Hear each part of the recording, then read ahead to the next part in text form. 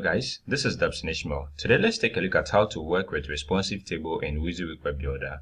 So to get started, let me come to my toolbox and locate the table 2. So I'll click on my table and I'm going to draw in here.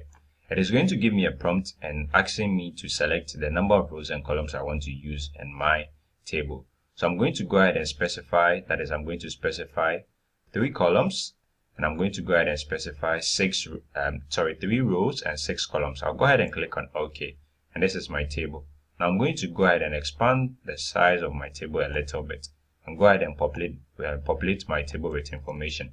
So I'll double click on this. This is going to be name, this is going to be age, this is going to be color, this is going to be location, this is going to be, um, let me make this uh, teacher, and this is going to be friend.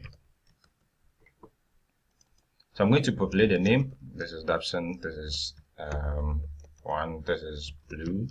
This is Kra. This is Ishmeal. This is um, Dapson. Now, let me come here and populate this as well. So this is also going to be Ishmeal. This is 2. This is Red. This is Kra. This is Dapson. This is Dapson Ishmeal. So I have populated my table with information over here. Now let's go ahead and preview this table in a browser. So I'm going to go ahead and hit on the F5 key of my keyboard. So as you can see, we have our table um, over here. Now I'm going to go ahead and create breakpoints in my project. So I'm going to come to my breakpoint manager and I'm going to create for 320 pixels. I'm going to create for 480 pixels and I'm going to create for 768 pixels. So I'll go ahead and click on OK, click on OK. Now when I switch to my 768 pixels, I'm going to reposition my table here. And I'm going to go ahead to switch to my 480 pixels breakpoint. Now this is where we are going to run into issues. When I resize my table here, it is going to affect the 320 pixels, same as 768 pixels, and it is going to affect the default size. So what do we do then?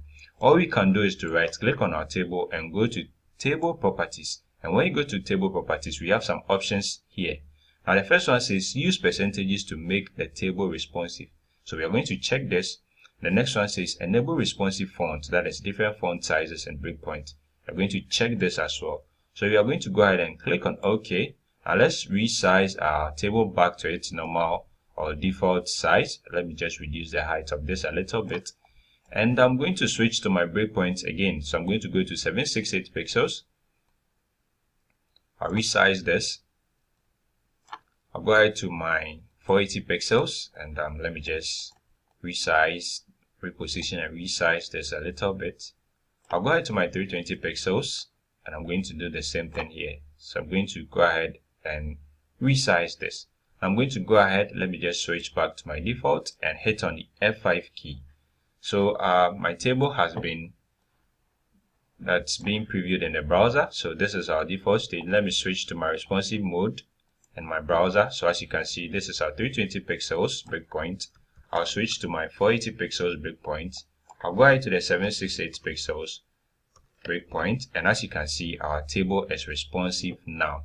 Also, what you can do here is you can also change the size of um, a cell over here. So if you want to change the height of a cell or a width of a cell, that is a row or that's a column or a row, all you can do is to just click on the cell you want to affect, that is make changes to the row or the column.